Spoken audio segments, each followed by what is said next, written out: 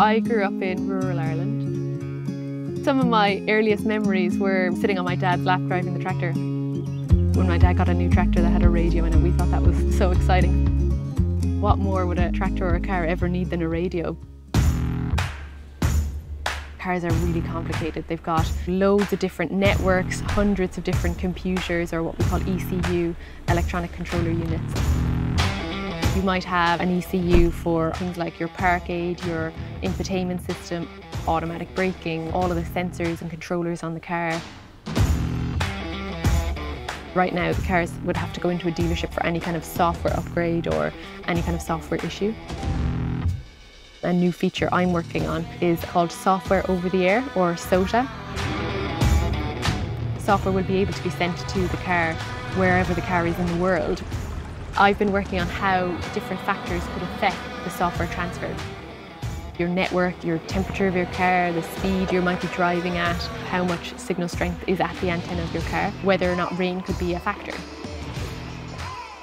So if your car is in the middle of New York City, or if your car is in rural Siberia, what are the things that would affect whether or not the software would get to your car?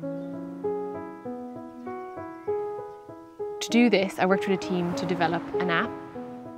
The app is called Apollo, and you can click into it and simulate a download. We have a number of manager cars that are out driving around the world they can hit a file size they want and then you can see the download happening.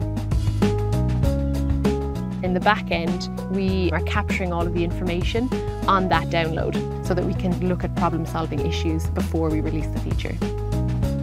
When people think of working in a car company, you kind of automatically think of someone with a spanner fixing the engine now actually electronic software development is really the forefront of automotive engineering.